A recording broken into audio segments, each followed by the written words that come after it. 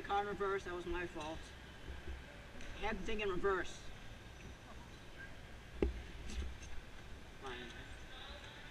My fault. I had it in reverse by accident. Yeah.